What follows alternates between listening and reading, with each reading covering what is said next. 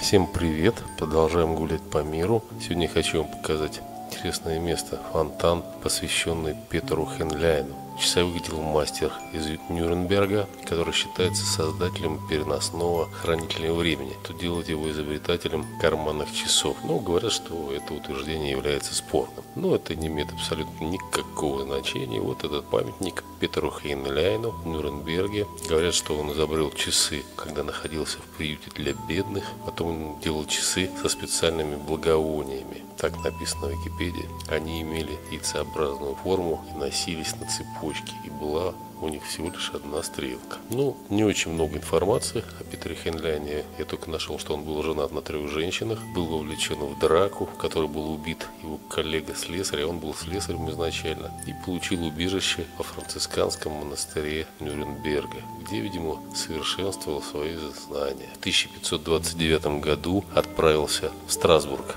по поручению Нюрнбергского совета. Шесть лет спустя изготовил часы для Нюрнбергского собора. Также построил башенные часы для замка Лихтенау в 1541 году. Был известен как строитель передовых астрономических инструментов. Ну вот и все. Все, всем пока, всем привет. Это был Нюрнберг, памятнику изобретателю часов Петеру Хенляйну. Все, пока-пока, до свидания.